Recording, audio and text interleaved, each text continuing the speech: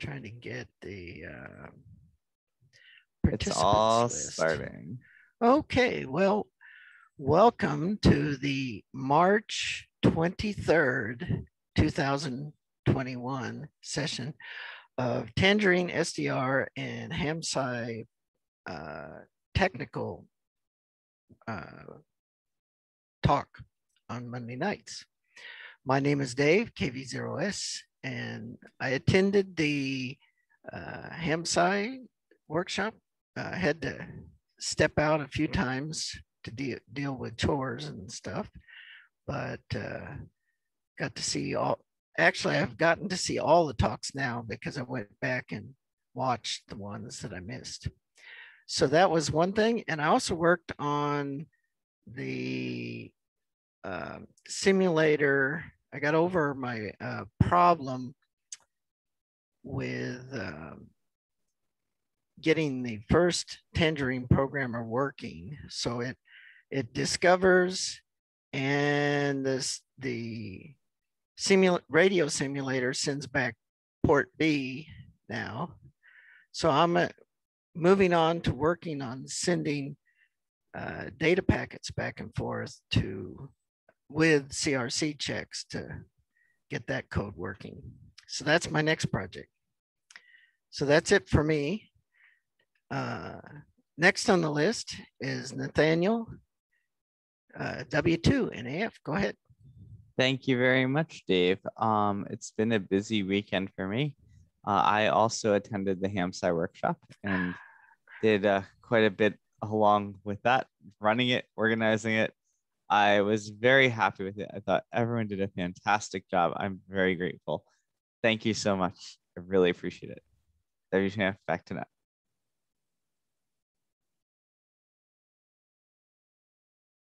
Dave, are you there? Look, uh, his video is frozen. Yeah, he does have that frozen look. Yeah. All right. Well, I guess I'll take over the net then until he comes back. So, um, I guess next, let's go to Greg Popolis. Thanks, Nathaniel.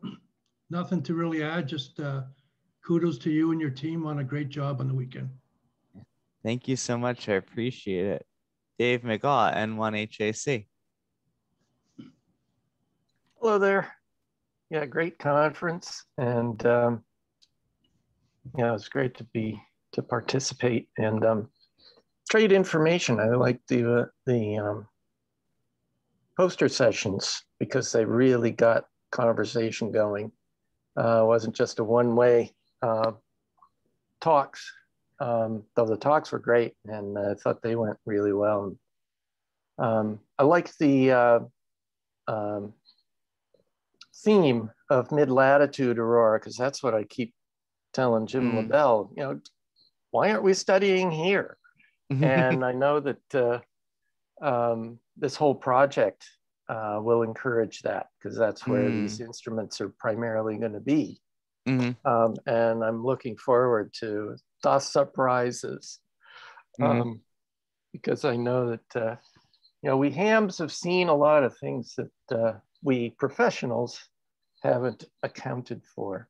Mm. Um, other than that, I've been working at uh, Wallops, um, putting our um, VLF propagation sounding rocket together. Mm-hmm. My instruments that I'm responsible for together. We've got uh, some that uh, you fix one thing, you break another. Mm-hmm. Um, so we're a little delayed, but getting moving ahead on that. Um, and again, the uh, uh you know what we're doing, it's it's picking up a, a, signal of opportunity. It happens to be a megawatt transmitter over in Maine, but right primarily. But uh, follows the same kind of ideas. So I'm, uh, I guess I'll uh, give it back to Net. Thanks a lot. I guess I can hand it back over to Dave Larsen. Yeah, can you hear me? Mm-hmm. Yeah, we've had Greg and uh, Dave, uh, David McGaw go so far. Yes. Um, so next on the list is Bill, AB4EJ. Go ahead, Bill.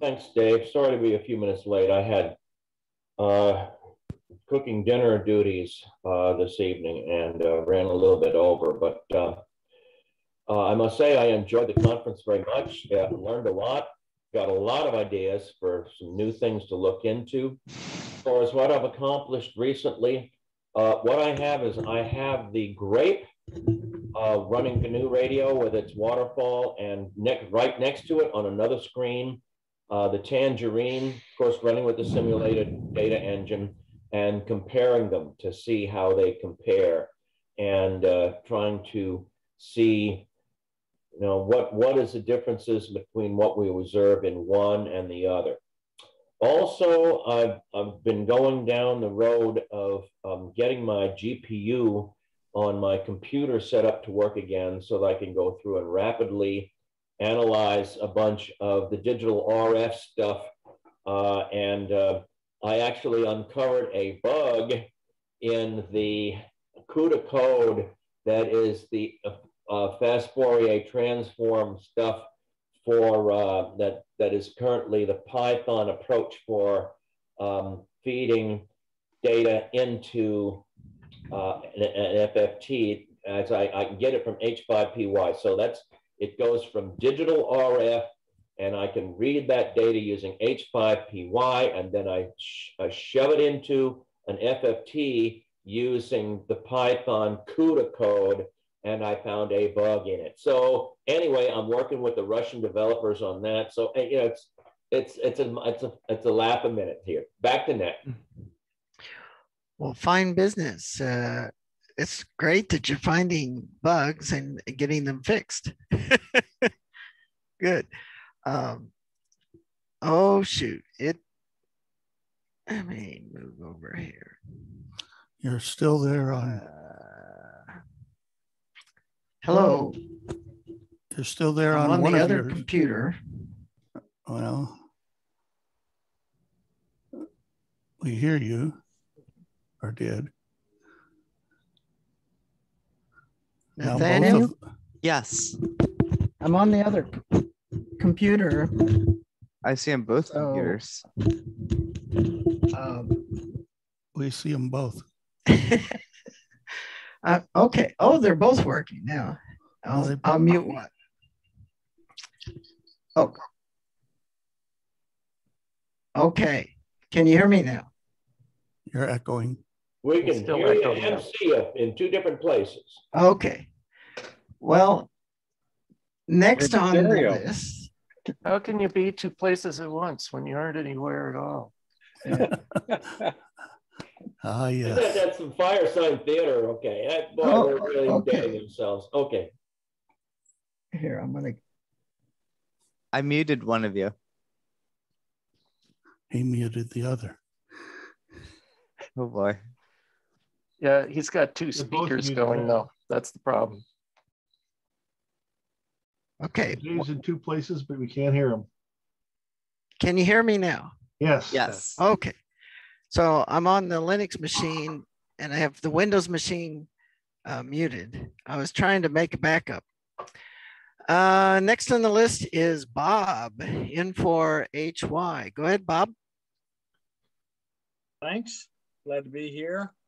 Uh, I had a great time on the weekend. Thank you, Nathaniel, for a great thing. And like the uh, fellow before me, I enjoyed the poster sessions immensely. They were terrific. And it was really good to see all the young people getting involved. And kudos to you, Nathaniel, and everyone who's bringing them in. And for me, I'm lurking because I'm trying to learn everything I can about Tangerine SDR because I have a use for it. Later. Very good. Say, Bob, I found a picture of you on the ARDC website or newsletter that had a tremendous amount of COVID hair. Was that you? So uh, when we shut down Virginia Tech and sent everybody home, I swore I would not shave my beard until uh, I got vaccinated. And the day I got vaccinated, I shaved the beard off. I haven't shaved in about five days, so it's it's growing back. But yeah, I had a COVID beard. Uh, and for those of you who don't know, I'm on the board of directors of uh, ARDC. Thank you. Uh, next on the list, we have Dan N4XWD, XWE, sorry. Okay, thank you, Dave, and hello, everyone. Um, I guess about the only thing I really accomplished this week, I unfortunately missed the uh, sessions both Friday and Saturday. I was working. I had an excuse, and I'm kind of sorry I missed it. Anyway, um, I did work on a, I've, I've been working for about the last three months on a script to install Dream, the DRM or Digital Radio Mondiale uh, client that runs in Linux. And I think it runs on the Mac and, and Windows as well. But I finally got it working. I have one little issue that I can't quite figure out. If I install it on a new install, it works perfectly. If I install it on an install that has some other programs that I've also put on previously, it craps out during the compile. And I think that Hamlib is what's causing my issues. So I'm going to investigate that this week. Anyway, that's about it from here. Back to you, Dave. Well, fine business, Dan. And uh, by the way, you can watch it on YouTube if you want to go back and watch the talks. Okay, great. Thanks. Uh, it's it's on Ham Radio now 2.0. Okay. Uh, next on the list is uh, Dave in uh, KD0 EAG. Go ahead, Dave. Hello. Um, not a lot to report. I enjoyed the the um, the conference, but other than that, not a lot to not a lot to say uh, well, for now. Fine business. And next on the list is myself, and then I'll skip him. Uh, then it's uh, Dev. Am I off again? Ah. Is it me? We got your audio. Is it me? Dev, it's your turn. It's my turn? Yes. Hello, good evening, everyone. So we had a, a good uh, workshop uh, Friday and Saturday. And I think we are uh, having good feelings about it, it, hearing good things about it. Uh, and uh, and we're we're now we're starting a new week here at Scranton. Other than that, there has been not much progress in the work, but it, has been a good workshop uh, by many accounts. Thank you.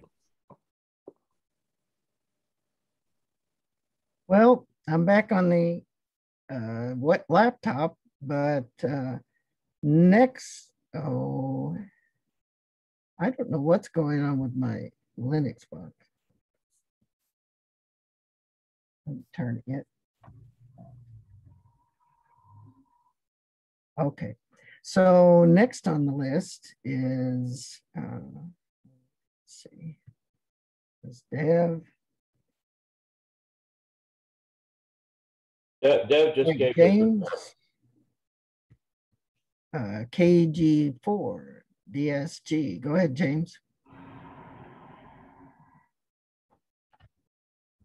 Good evening, everyone. Uh, I missed the Friday sessions because of work, but I'm slowly catching up with the uh, replays. And uh, from what I've seen so far, is very good presentation. So uh, with that, back to the group.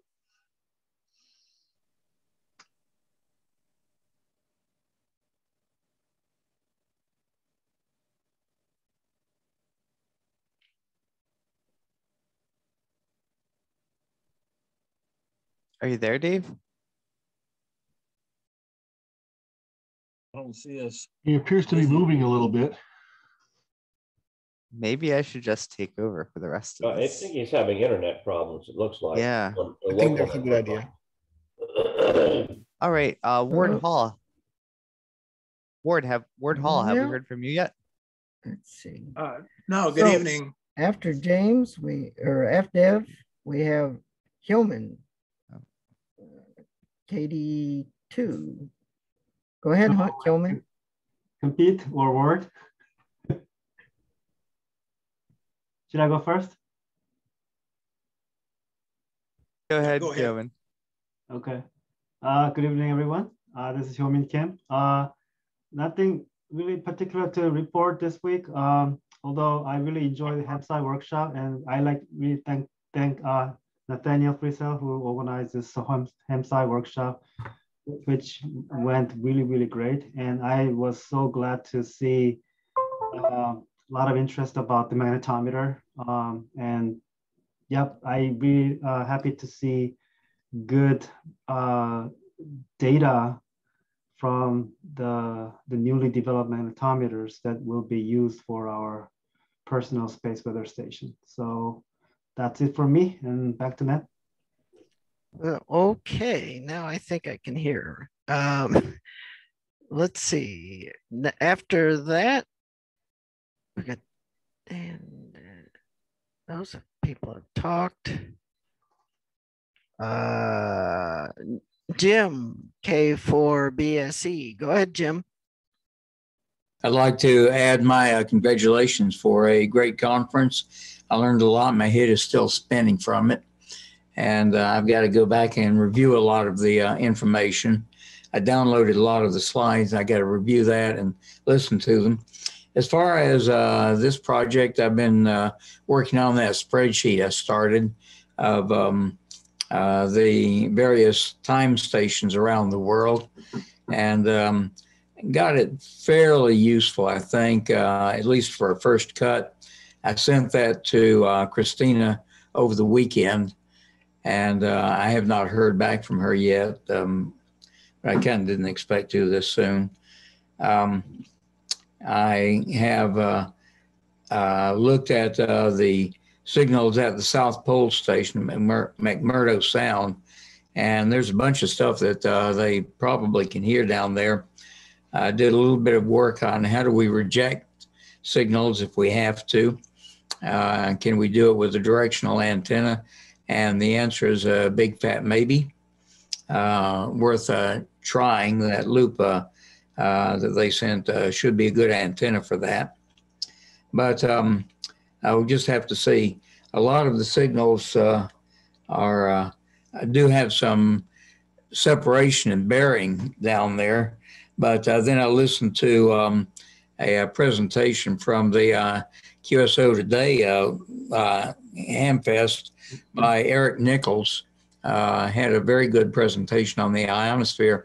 And he makes the point that as you get close to the poles, particularly, uh, the ionosphere just may be bending the signals so they could come in at some angle that's not related to the Great Circle.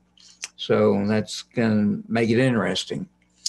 Um, and I also uh, told uh, Christina that uh, if she still needed some help with uh, setting up a help desk for the um, uh, grape uh, as uh, people start assembling them, that I thought I could uh, probably handle that. Okay, back to net. Well, Jim, you got a big thumbs up from John, and John's next on the list. So go ahead. I can use all the help I can get. Spent most of last week uh, preparing my uh, HamSCI presentation. In fact, I want to go back and review it to see how bad I did. Um, I also got a parts list to finally download correctly into the DigiKey BOM manager correctly. And I got that to, it was Joe. And I think he finally got it to work. He got his parts. He's now asking for an OS image. And so I'm going to concentrate on what Bill Engelke gave me for the upload scripts, get that working to a common one so I can distribute it to everybody. That way it all goes to the same place they don't have to mess around with it. So that's this job's task or this week's task. Back to net. Well, fine business, John. And uh, next on my list is Scotty, WA2 DFI. Go ahead, Scotty. Okay, very good. Uh, thank you, Dave. yes, the uh, kudos to Nathaniel for another great HamSci conference.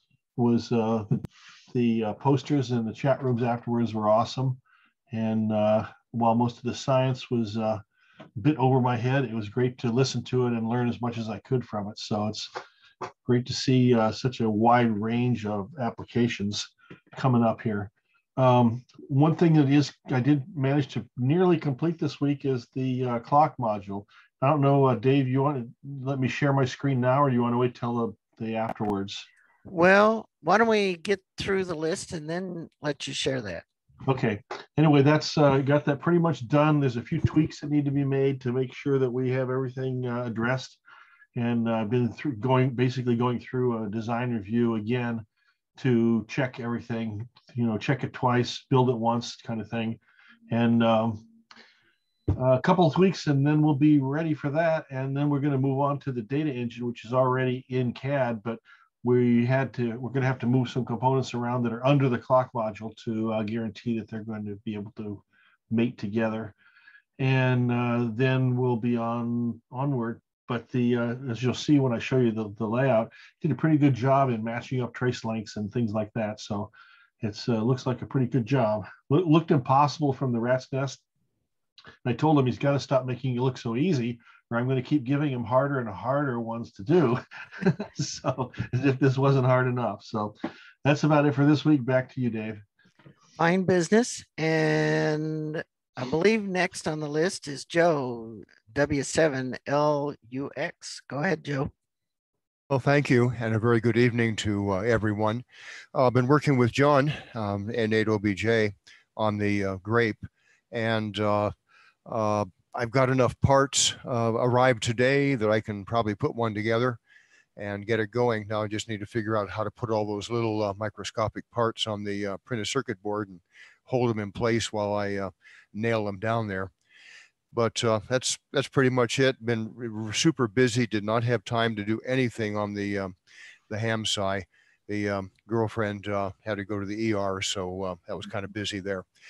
back to you there, Dave. Well, fine business. Hope everything's uh, getting better. Uh, next on the list is Jonathan Rizzo, uh, KC3 EEY. Go ahead, Jonathan. Hi, everybody. Um, I, I would like to congratulate uh, Nathaniel for a another awesome uh, uh, HAMSCI. Uh, it it uh, went uh, pretty much close to perfect. And the uh, part that he was worried about the most, the uh, breakout rooms, I I, uh, I thought that they went extremely well. There was a lot of really good discussion in the rooms, um, a lot of really good discussion on on um, both days, and I I really enjoyed it. And I'd like to thank him for involving me. Uh, other than that, um, I have one quick question that could probably be uh, addressed in general discussion. It's for Scotty. Um, I was wondering um, for the uh, clock that's that um, that will uh, come from the clock module. Um, I, I was wondering um, about a uh, buffer um, because um, what I was going to do was I was going to feed the um, uh, clock signal uh, from the uh, uh, clock module into the buffer, and then the output of the buffer would drive the input of the um, ADD converter and the clock output pin on the leaf module to go back in to go into the FPGA. I was wondering if there was anything uh, special uh, that I should consider when choosing a, a buffer, other than um, a uh, single buffer module like an SOT uh, uh, 23 package. Um, other than that, I don't have anything else. back to the net. Well, fine business. And I see Ward Hall. Did you get called yet? Ward? Oh, uh, briefly, I, I said hello to the group and okay. Uh, thanks for letting me join. Well, I my dropouts got me shuffled around a little bit. Yeah, uh, that's about the time it happened. Okay, and uh, and the problem, as as uh, Nathan Nathaniel knows, he these lists resort themselves every time somebody talks. So you got to be on your toes to keep track of who's been talked to and who's not. So next on the list is should be uh, John KJ6IBP. Go ahead, John. Um, well, I'm still a beginner at this. Uh, I've got lots of learning to do. Uh, but I so far I do know uh, the work you guys are doing on the hardware. Uh, even though I studied electronics for two years, it's still too advanced for me. Well, there are all kinds of things to do, technical at varying levels. So hang around and you might find something. And seems like you have a nice cat. Oh yes, she's a nice kitty. Very good. Uh, next on the list should be uh, Michael, AA8K. Go ahead, Michael. Well, thanks very much. I enjoyed the uh, workshop. It was, uh, I was riveted to my chair. um, one question I have for the group is, um, do I still need to keep making these recordings and posting them to tangerine uh, SDR org. Um, it is a duplication of the uh, Zoom recordings. The Zoom recordings are uh, significantly better. The only advantage I can see to keep posting them is if someone doesn't have Zoom. So I, I throw the question out to the group. Thanks very much. And for your information, uh, Michael spent over 10 years recording the open HPSDR uh, sessions every week. So he's got a long history of doing this. Thank you. wow, 10 years? Well, what are we, 10 years plus a couple of years of this? Oh, yes. That's more than that. We started HPSDR in like 2007, I think, or 2008. 2006 is uh, when we had had the Xilinx uh, group. Right, but the, I'm thinking of the the the two boards that we produced. The production boards came out in about 07, I think. Yeah. And how many people here remember Phil Harman? Oh yes. Yes. Excellent contributions. Yes. So anyway, I wanted you to know that history about Michael. He's quiet, but he he's persistent. so and, and, just for the for my two cents, I think that the audio recordings are a good thing to have because I suspect that eventually the video recordings, as big as they are, will uh, they may go away or they may go somewhere obscure. But the I, I know I've I've sent several people over to the audio recordings who said all they need is to listen. They don't really need to see uh, I mean, nobody needs to see my ugly mug anyway. So the audio is what they want. Well, I had a number of Europeans when we shut down Open HPSDR uh, uh, weekly meetings. Uh, several people said, "What am I going to do on Saturday morning in England?" They'd listen to the last, the previous night's recordings. Hmm. So anyway, we got, uh, I think uh, Tom is monitoring only, uh, KG6MKI.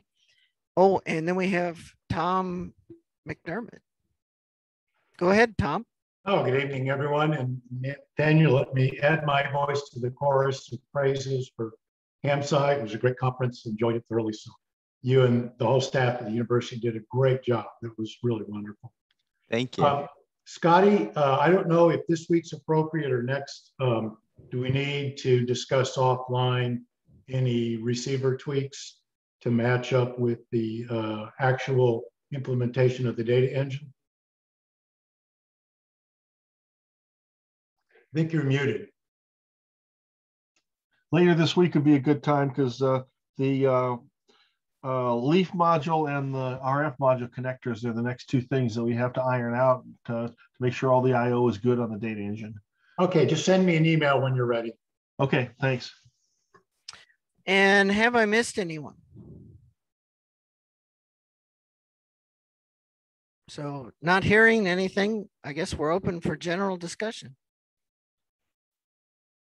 Okay, I guess I can address uh, uh, John's question about the clock. Um, I would expect that you would receive the clock from the clock module and that you would probably um, buffer it twice. So in other words, you receive it on a receiver and then the output of your receiver would run to two other buffers. One would be a local one, one would be mine to keep the skew down between the FPGA and the ADD. And as far as what buffer you want to use, I, I would recommend using a differential uh, coming in because we can run it, make it, make it LVDS and uh, keep the noise down on the clock. And Tom McDermott might want to check in on this too, uh, but we have the capability to, to send LVDS clocks from the clock module, or we can do single ended too. It's programmable. So you can decide which you want to do. Um, Does that answer your question? Well, so, so would you, so, um, what you're saying is, is that you would, um, connect the, so the, uh, clock coming from the clock module will connect to the input of two buffers and the output of one buffer would go to the A to D converter and the output of the other, other buffer would go to the clock out pin, right? You can do it that way, but typically uh, LVDS buffers are point to point. So you would have a single buffer on your board that would receive the clock module clock, and then mm-hmm. that buffer would drive two buffers, one going to you, one going to me, so that they're basically this as coherently as coherent as possible with each other. Oh, okay. So then that would be a total of three LVDS buffers. Right, and you can use little bitty, you know, SOT23 type buffers if you could. That that's fine. They don't have to be a big fancy clock chip because the the uh, the clock chip it has a buffer on it on the clock module. So, but again, you're going across two connectors, so you really want to receive it with something. Now, Scotty, the uh, why wouldn't the um, clock going to the FPGA be coming directly from the clock module? Uh, it could be, but I would rather have the clock that he uses because I want a coherent clock. Okay, so you want to pass through there. Right. So you'd have one LVDS receiver driving an LVDS driver that would then go to the FPGA. Right, and right? then he have also would have a local driver that would drive his A to, C, A to D converter on his board. Right and that would not be LVDS. That's just that's single ended. Yeah, so I mean, you're going to end up with some skew there because you know LVDS versus uh, a single ended clock. That's I mean, that's not a big deal because the uh, the M clock doesn't have to stay um, synchronous. It's the uh, the um, frame clock and bit clocks that have to stay right, well, synchronous. The thing is that the frame clock and the bit clock, I'm going to generate off the clock he sends to me. So it, I, as far as the skew goes, I can't really find anything in the data sheet that says what the skew can be because all that matters is that you are exactly frequency locked with dividers. That's correct. That's handled within the A to D chip. But but as far as the the onboard clock for onboard clock distribution for John's board, I would look for an on semiconductor or a, a, silicon, eh, you know, SI Labs or one of those, a, a one to two LVDS driver. So take an LVDS in, send one LVDS out to me at the FPGA, and take one LVDS in locally on his his board. And that way, you really minimize the the edge transition skew between the two clocks. I still don't understand what the second LVDS driver is. The the first one. Well, There's one receiver and one driver, but internally it's single-ended. Well, it, if you have a different driver, in other words, you, you accept the clock from the clock module and you split it into two, and one of them is LVDS and one of them is single-ended, it's going to probably be difficult to get those edges to line up. You don't have to. That's the point. You don't have to. Well, it's the chip takes care of it. Yeah, the chip has synchronizers within it. That's fine, but you know, keep the clock differential everywhere, and you keep. But you can't. Down. No, but it, the chip doesn't take a differential clock. It's single-ended. I, I, thought it. I thought it was a differential input. No, no. no. Well, okay, well, that, that answers, that answers the question. That No, like, but there, the, the chip I would uh, recommend you look at is a um, uh, Tiny Logic uh, 125. Um, whether it's HC 125 or I don't know if there's an L and a Z or something in there. Um, Okay.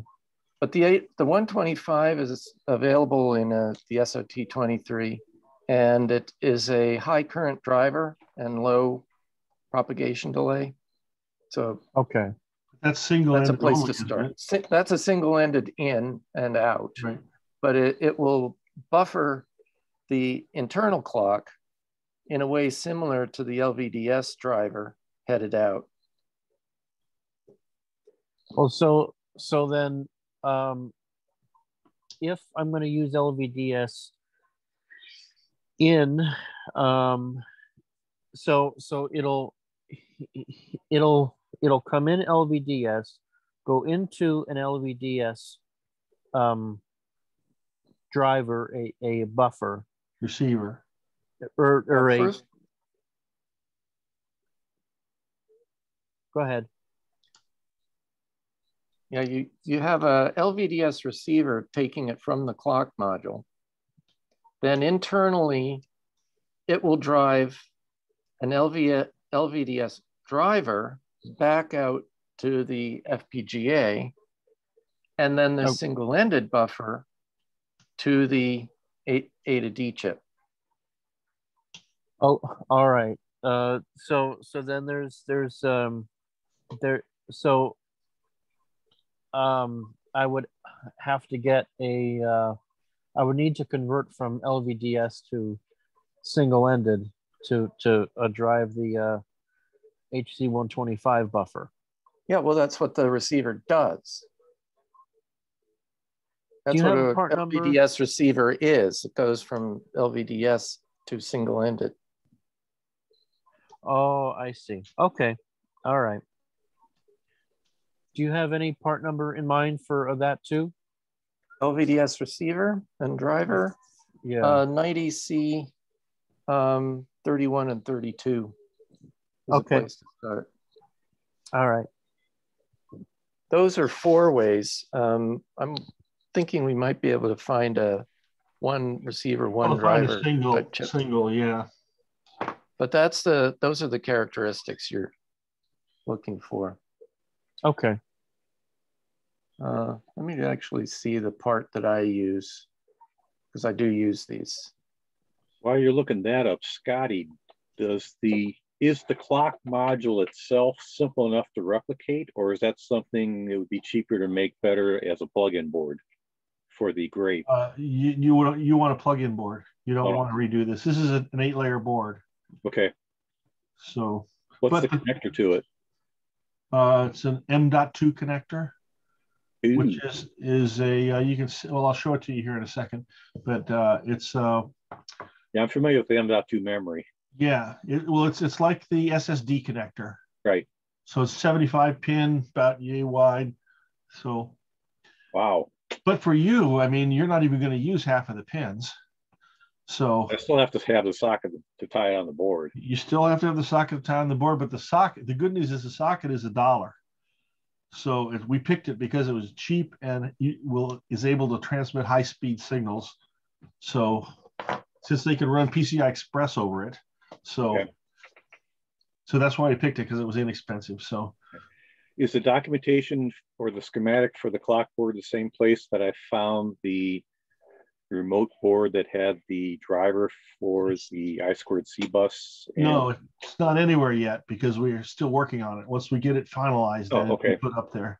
If you want me to take a peek at it, if you weren't happy to do that. Okay. Um, I did I get a send copy of David. I was going to send David a copy of it too when I get it to the point where it's not in flux. Okay. I did get a copy of the other schematic. It looks like what I have to replicate is the uh, the long driver for the wire. And I was going to ask if I could disconnect the interrupt and just connect that to plus five. So I have two plus five and two ground signals. Oh, on the magnetometer. Yeah, for the extension cable. Yeah, you can strap the magnetometer uh, to do use plus five and just ignore the interrupt. In fact, the, there's some discussion still on the on the Rev E magnetometer, which will be the, the production one, whether we're even going to leave the interrupt on there at all, because it seems to be the consensus is that nobody's going to ever use it. So you might as well just make the board simpler and get rid of it, and then not have to worry about well, did I strap it right or did I put the right part in the right place, or and just get two five volt lines, get a little bit less loss, get a little bit less drop in the lines. Yeah, that could make a huge time. difference. Yeah, I mean, I saw those uh, diagrams that Jules had, and uh, we do actually have that extra capacitance on the board. So the traces that he showed, we we ours should be the smooth one because we have that extra 200 mics. So hopefully that that was Jules' suggestion to add that. Either Jules or Dave, one of the two, said you need more capacitance, so we put a lot more on there. The other thing I forgot to report is I was working with Ben on that code, the C code for the Grape Gen 2. And we just about have it working where we're getting timings off of the rising and falling edge of the 1 PPS. And I've written a program to capture to six decimal places in time the rising and falling edge timing so I can get a distribution of how much jitter we got using the hardware clock being looked at in a C program. And then I'm going to rewrite and replace the code to look, instead of looking at the hardware edge is to look at the clock system clock and see how bad the jitter is on that, which I'm expecting to get a lot worse. But then we at least compare the two and have something to look at.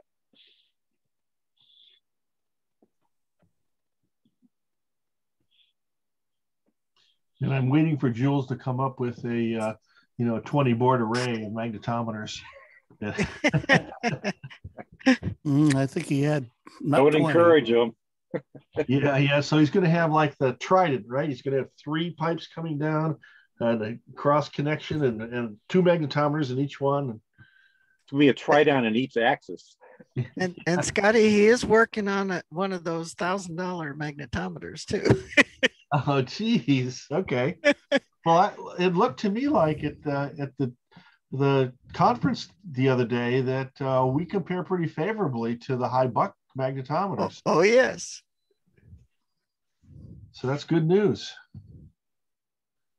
I'm So really you- surprised the manufacturer didn't recognize the temperature coefficient of the uh, ferrite material in the cores.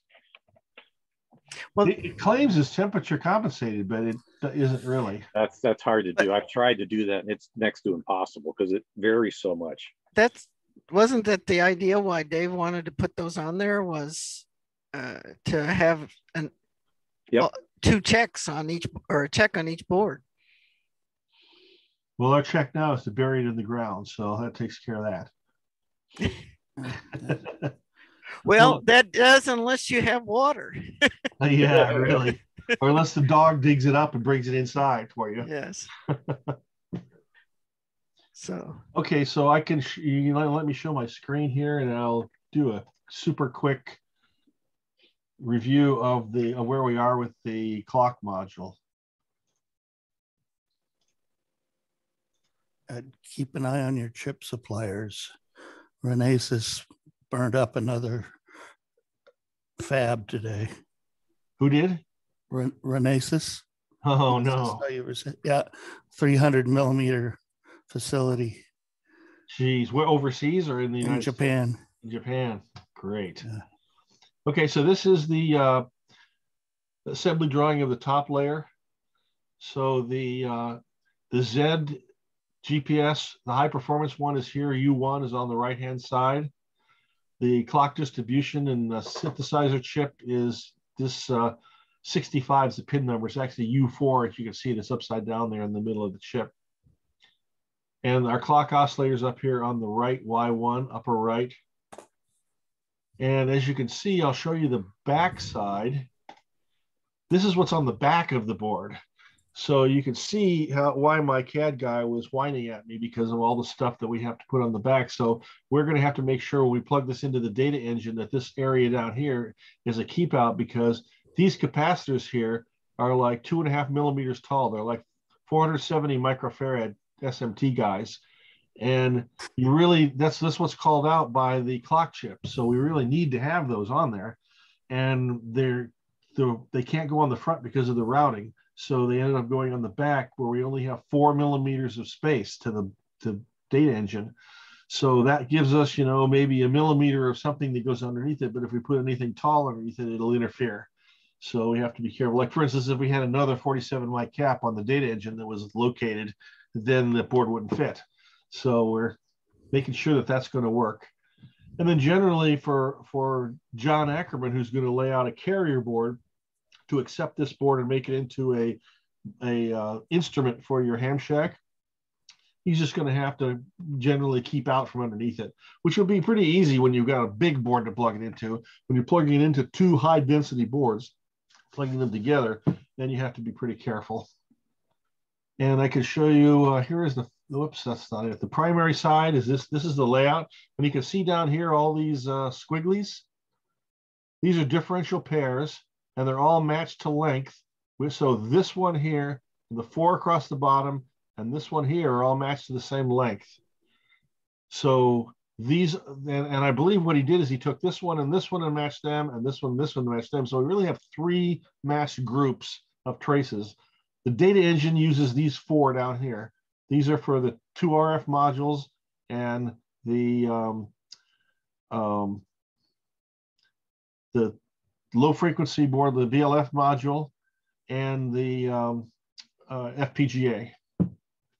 So we could theoretically make this the, the FPGA one the same frequency as the one going to the clock module, but that's I'd rather have one coming, sorry, going from the VLF module, but I'd rather have something coming back coherent from the VLF module that says, here's the clock and send me everything based on that clock.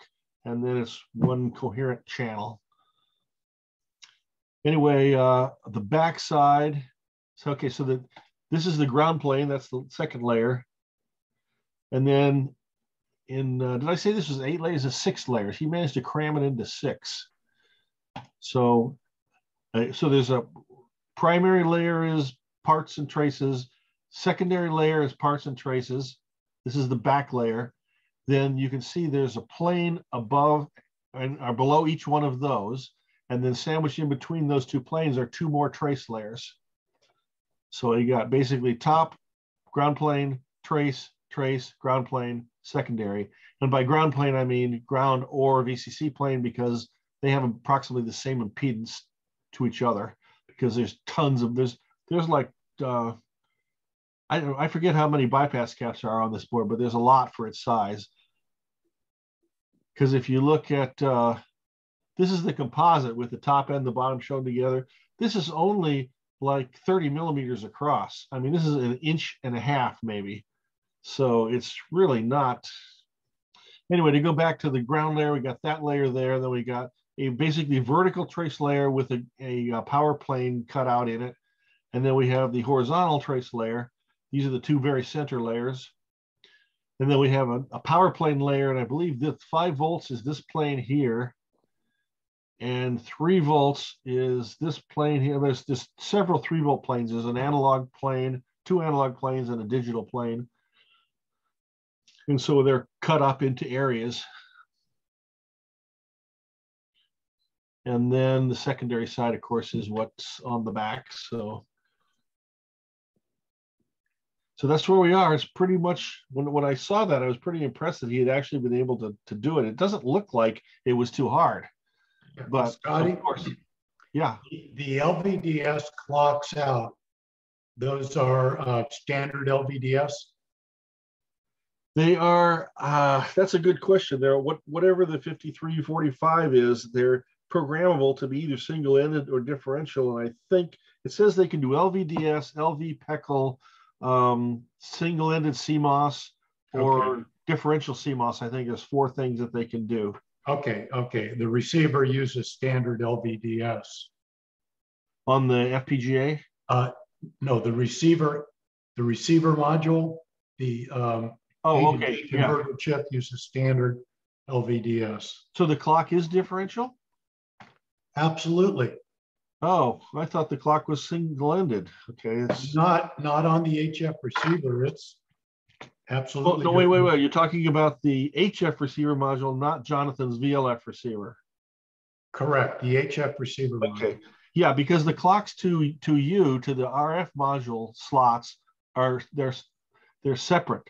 One Right. one of these will go to one slot, one will go to the other, one will go to the the uh, uh, leaf module, and one will go over to the FPGA on the data engine. Those four.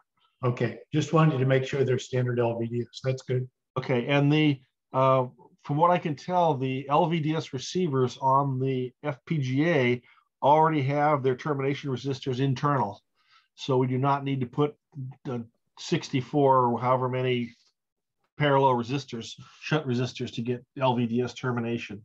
Right, yeah, that, those are programmable in the FPGA. I believe you can turn them on or off. Now the transmit ones, only certain modules, only certain banks have true LVDS transmitters. The other ones you have to put resistors on the board to do that, to make it into an LVDS transmitter. Okay. So when I looked at, when I looked at the data sheet, it looked like the receivers were very um, standard oriented. Yeah, and, and pretty much every differential input is an LVDS receiver. Okay, But good. Only the, the transmitters are only on the bottom two banks of the FPGA, which means there are not enough of them to feed both RFM0 and RFM1 with transmit ports, which means what's going to happen is one of the ports is going to be more suited to a transmitter module than the other. They're not orthogonal because one of them doesn't have transmitters going to it, the other one does. So, but since the receiver, the HF receiver can go in either slot, we'll just use that one for the one for the receiver, and the one that needs to be a transmitter will be a transmitter. Then the other one will be the receiver. So it won't make any difference.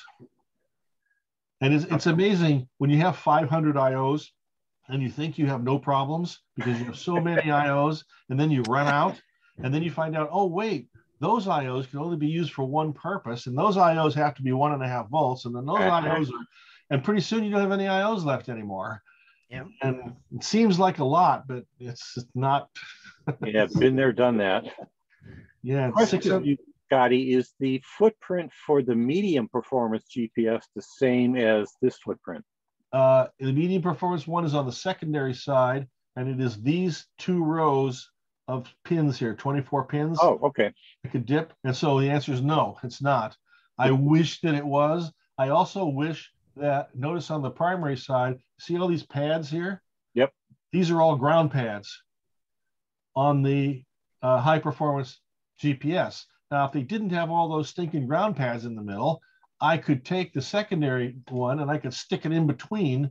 Yep. And I could overlap them, and it would be because we're not going to install both at the same time. Right. So they're either or, but you can't do it. So you see all these dots here, these vias. These are all ground vias grounding those pads that are on the other side of the board. Yeah. So at first glance, my CAD guy told me right out of the gate, he says, forget it. We can't do this. So I can understand job- why I said that. it was my job to convince him that it was possible. And that's the thing is he he's pretty good at it. So if you can convince him and he he buys into it, he'll do it. So once we got to this placement here that we're that we uh, we came up with here, and we had the parts that we put on the back, he said I can do it, and he did. Once he's convinced. Yeah, once he was able to straddle those ground pads, that made all the difference in the world. So one of the things, and uh, maybe this is a good question for you, John, is that see these three SMAs. The bottom one is a one PPS output. The top one is a 10 megahertz reference output. The Mhm. center one is the GPS antenna. Now the problem is that underneath these right here is a USB 3 co- connector from the data on the data engine. Well, it will fit underneath the, the these this connector here, but there is no way that you can leave it that way because you won't be able to get your fingers in there and tighten the, the nut or plug in the USB. It's be one or the other. So what I'm thinking is we got to change this connector instead of an edge launch off the edge of the board, a right angle through hole on the top of the board to raise it up away from the USB connector. So the question then becomes, if we make this an SMA right angle, it's too deep and it runs into all these parts in here and we'll have to, it's a big mess. But if we use an MMCX right angle, it's small and it fits right in this footprint right here. So the question is, do you know what kind of dual band antenna John had picked out to for us to use with this? I do not know. Because apparently the antenna is a limiting factor because there's not very many dual band antennas. I believe that. And, and also, so- does the uh, one PPS and the 10 megahertz come to the edge connector as well? Yes, it does. Oh, good, good, good, good, good, good. Yeah, lots of extra things come to the edge connector that we don't use on the data engine, but somebody will want. We actually have two 10 megahertz output, two, two 1 PPS outputs. We have one that can be, if, if you were to make one of these boards with an FPGA on it, then you could actually adjust the 1 PPS with the FPGA and have a processed 1 PPS if you wanted. And we also have the ability to accept a reset and to generate a reset so that if you, at some point, we're going to come up with a, a new clock module that will allow you to synchronize multiple data engines to within about two clock periods at 122 megahertz. So you're going to have to have a distribution system that has a reset that goes out that is going to be distributed to all of the data engines and it's going to be fed through the clock module and synchronize that way. And I think if we do it right, we can get within two clocks. And and the thing is, it will it will be one or two clocks, and it will stay that way. So it'll be a phase offset, but it'll be continuous. It won't be jumping back and forth because once you synchronize, then you'll be synchronized. Makes sense. theory anyway. They never really were successful at that too much with the uh, HPSDR, and I think part of the problem was that they didn't actually meet critical timing. And if you don't meet critical timing, all you have to have is one hiccup, and you miss one clock. Now you're off by two. Yep. And it happens again. You're off by one or three, and then it, it moves around. And depending on how close your timing is, that could happen more or less often. It just becomes a statistical thing, right? And that drives you insane. yeah, and it did. and that was one of the problems they really wanted to f- tried hard to fix. And Yeah.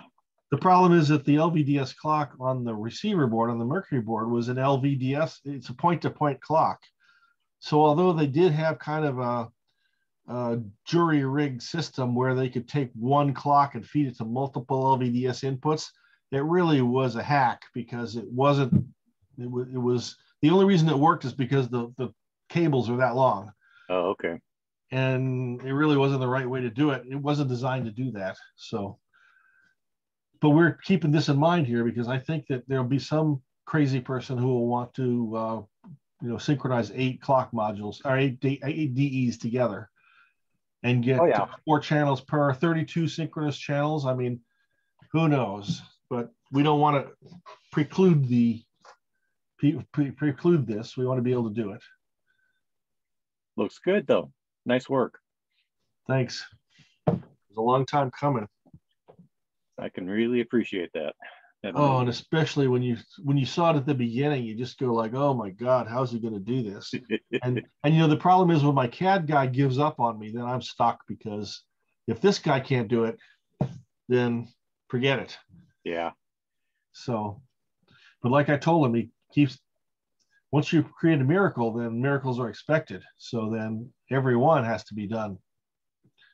So they and they don't get. I, I told them all the easy jobs are already farmed out. So we we have only hard jobs left. so Yeah, sadly at Keithley, all the analog stuff when I was doing the uh, really low current, the CAD guys didn't have the background to do it, so I had to do all the board layouts. oh And yeah, board Fun, was huh? part Oh, of that trip. Because you know you get dielectrics that are too conduct. You know the board material is too conductive, so you have to work with that by putting slots in. And yeah, it's it's Yeah. a, it's a true truly an art, and it takes takes a lot of oh yeah, I can't do that type things, and oh yeah, you can't do that. And Speaking of years that, later, you finally get it. one well, the more you do it, the more you can more you can do it, right? Yep. Yeah, it's one of those. But speaking of that, if you look up here in the upper right, this is where our clock oscillator is. And we're trying to pull a little bit of a trick here by putting some, Isolation. these are thermal slots that we put Yeah. in between the planes. And uh, I've got to get with my CAD guy because he's got a problem here. Yeah. I, I, I don't want this these conductive paths, thermal paths. He's got to break this. Yeah, I want this electrically connected to ground with a trace, but I don't want a big Yeah. uh, thermal flow there. Yeah. And then you go to the next plane. He's Yeah, got you, have to, you have to think in three dimensions, and he's only Yep. thought in, on the top layer. And part of the problem is he may have traces that run through here that he can't. Yeah. He doesn't want to cross into no plane or a cross plane. So you got to be careful doing that. So we may have to rearrange some things to get this this thermal plane out of here because I don't like it. And then on the bottom, it's there's no plane. And in the two trace layers, you can see there's no planes. There's a, a single trace. That's fine. But this is not going to fly for the ground. I think that's Yeah, on the uh, DMM 7510 that I did at Keithley, it's a seven and a half digit DMM. I did the reference module and I made a thermal isolation thing in the center of the board and everything was connected with the serpentine connection and all the routes had to go on that serpentine. uh huh. And then I Did that help? Oh yeah, because I was able to heat the hole inside with resistors, and I was able to hold it to a tenth of a degree at you know 40 C, and actually have a PID loop running to control it, even with air blowing on it. It worked really well. But the trick Yeah. was that long serpentine length is what gave me the thermal isolation from the board. Yeah. Well, the That's thing is, if you gotta could get it, This- what you've got here won't work. pardon me. You're trying to thermally isolate it.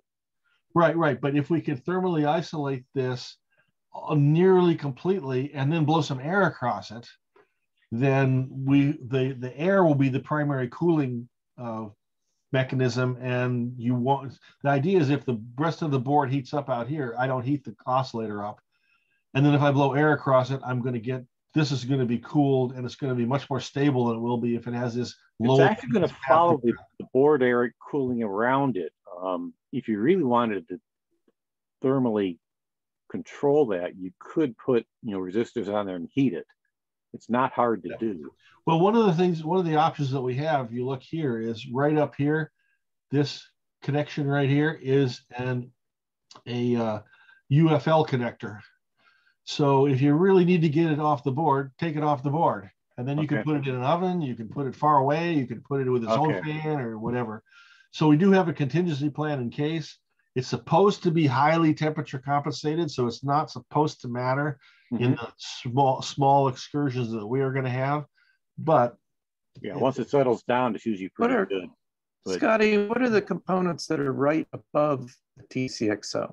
up here, Yeah. uh, let's see. Uh, I'm trying to think. These are uh, buffers.